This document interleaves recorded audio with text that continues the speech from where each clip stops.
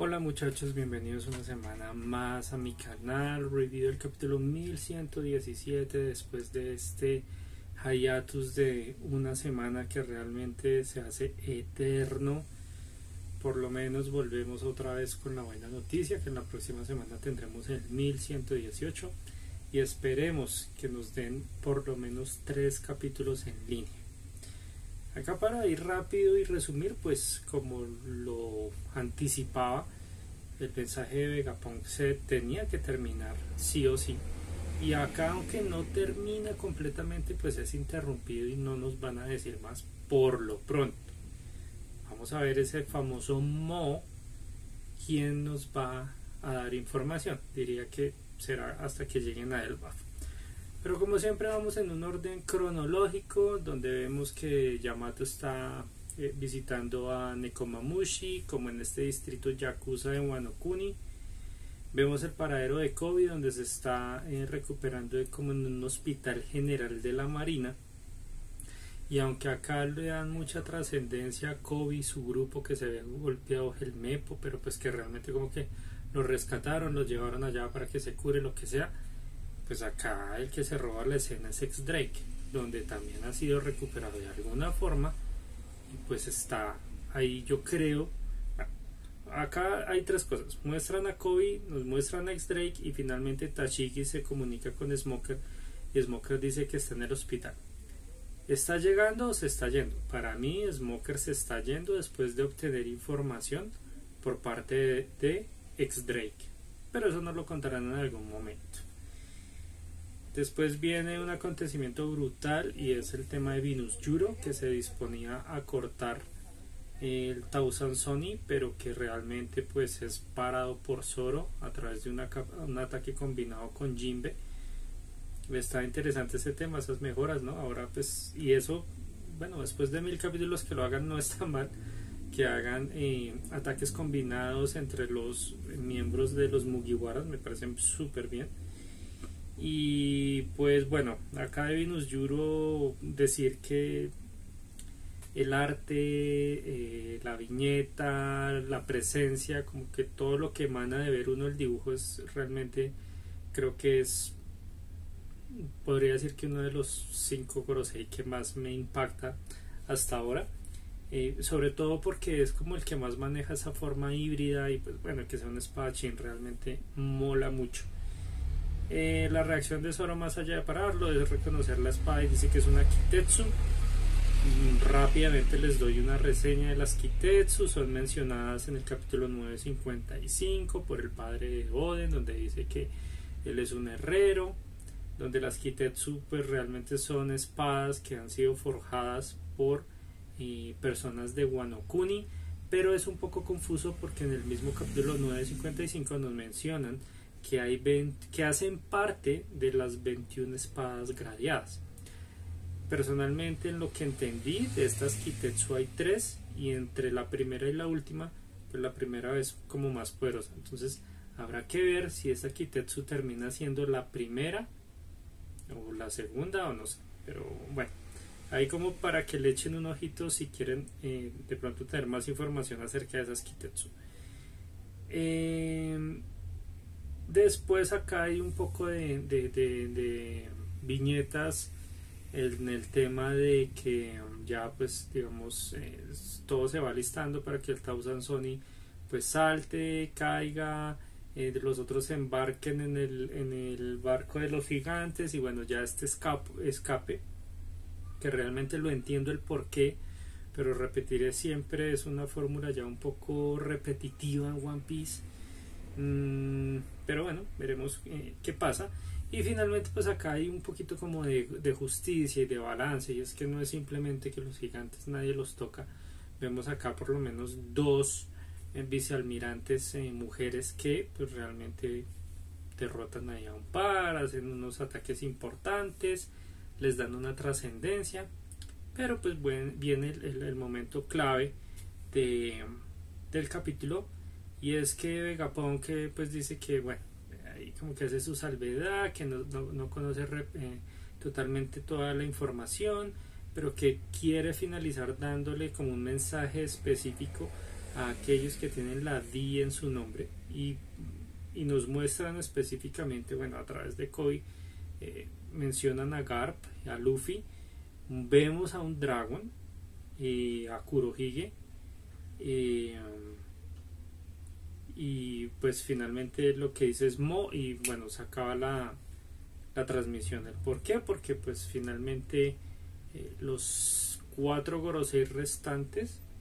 eh, pues ya gracias a York y eso saben que el Snail está eh, dentro del robot van donde este Iron Giant y logran eh, no derrotarle pero pues en la traducción que vi dicen es como que están haciendo de alguna forma que se distorsione ese mensaje no entonces llamen que es como hackear o algo así entonces bueno, finalmente deja de ser transmitido el mensaje y nos deja ese cliffhanger de Mo.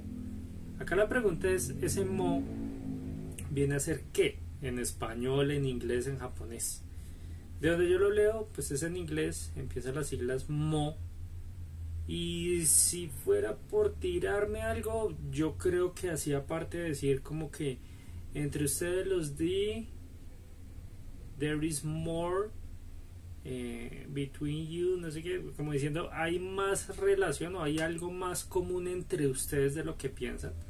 Me iría yo por ese lado. Pienso y pienso palabras en inglés con more y no, creería que va por el lado de more y algo más, una acotación. Entonces, digamos que nos dejan ese, ese cliffhanger Aquí importante que los Gorosei o bueno a través de Mars eh, pues reconocen ese Iron Giant y dicen, no, este es el mismo Iron Giant que atacó Mary Joyce hace 200 años. Entonces volvemos a lo mismo. El Gorosei, ¿qué? O sea, ¿hace cuánto está vivo? ¿Por qué no mueren? Todo este rollo, ¿no? Eh, y bueno, ahí se acaba como el capítulo y divagamos, ¿no? Pues, bueno, información, que está la cola lista, que quitaron la barrera, que van a saltar, pero allá las vicealmirantes jodieron a los, a, los gigantes en el parque de escape. Eh, Dory y Broggy van con Luffy mirando para atrás, entonces como que a la final cortan el mensaje, pero ¿qué va a pasar después? Acá impresionante que Zoro haya podido parar a un Gorosei, o sea, como sea, pues bien, o sea, deja mucho que pensar eh, pero finalmente, pues muchachos, me voy por ese lado del mo, que en inglés de pronto era parte de una frase eh, para finalizar y que hubiera sido como There is more between you that you think, algo así. Hay algo más entre ustedes de lo que creen. Ahora, hipotizando lo que quieran en ese momento, yo diría que la clave y del word del, del ¿cómo es que dicen? de la voluntad de los D realmente viene no sé si de ese reino antiguo o simplemente de Joy Boy, Joy Boy yo creo que son descendientes ese D son descendientes del reino avanzado de alguna forma y que va a ser clave pero que en algún momento esos D se unan en una sola pieza o algo así hagan la fuerza uniéndose para derrotar a Imu y lo que sea. O sea, eso es como lo más cliché, ¿cierto? Pero, eh, pues apuesto por eso del Mo. Sin embargo, pues hay algo que es muy importante y es que hay una generadora de contenido, no sé si es ella, bueno, la voz es de mujer, en inglés que se llama Dawn and Dusk. Y ellos eh, montan videos muy seguido de cosas que encuentran eh, ya cuando los tienen acceso a los capítulos oficiales en japonés. Y ya lo había mencionado en algún video anterior, en japonés, en su idioma y en su vaina, hay, como que mucha cosa de doble sentido, que tiene otro significado, que traducen mal. Entonces es muy diferente el significado de las cosas, eh, como los, lo transmite Oda jugando con las palabras en el idioma original. Entonces, espero ansioso cuando salga de pronto algo acerca de ese mo y que más encontraron en este capítulo escudriñando en ese juego de palabras, si lo hay. No siendo más muchachos, es un capítulo que pues al no tener tanta acción y ya hacer la conclusión del mensaje, pues bueno, en una semana sabremos para dónde se va todo esto. O sea, el gigante simplemente fue parado y otra vez cascado y se paró ahí y ya, ¿qué pasó? eh, se escaparán, eh, saldrán a cazar al Tausan Sony, derrotarán, o sea, ¿qué va a pasar? Es, es, totalmente incierto, pero bueno, avanzamos un poco. Eh, bueno muchachos, ya para finalizar, sé que no todo el mundo se queda hasta el final. bueno, en este momento tengo ya tres capítulos listos con su template, con su, ¿cómo se diría? bueno, con un script de qué voy a tratar cuando vayan los próximos tres Hayatus. Entonces, eh, bueno, ahora sí, si el Hayatus es en 15 días, pues ahí tendrán su videito. Si es en 20 días, pues también. Pero lo cierto es que en el canal garantizado habrá un video semanal de One Piece. Haya eh, publicación del manga o no, pues eh, montaré contenido relacionado obviamente con el manga o con la serie. A modo de pista, muchachos, pues básicamente este fin de semana acá tuve la oportunidad de encontrar un tesoro, no diré más, es relacionado a la serie. Eh, para mí fue milagroso encontrar esto y tiene que ver mucho con el video que montaré eh, en el próximo Hayatus. Adicionalmente a eso, pues les voy a mencionar, aunque pues haré el anuncio como cabezote del canal, el canal va a tener unos cambios porque voy a empezar a generar contenido, a subir contenido más relacionado con los videojuegos retro y unas cosas en las que he estado trabajando en lo cual tengo más acceso y más contenido para compartir que el ritmo de One Piece. Sin embargo, si ustedes están acá por One Piece, repito que el contenido no va a cesar y va a estar garantizado al menos un capítulo semanal, sea review o sea eh, contenido relacionado. siempre habrá ese contenido. Lo digo para que no se lleven una sorpresa de que este canal yo me metí acá, que era One Piece y este loco está subiendo vainas de juegos retro, esto no nos interesa. Bueno, muchachos, eso es lo que hay. Entonces, nos estamos leyendo y que tengan una muy buena semana.